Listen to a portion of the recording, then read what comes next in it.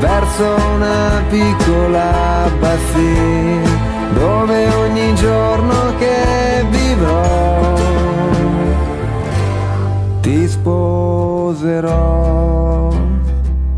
ti sposerò.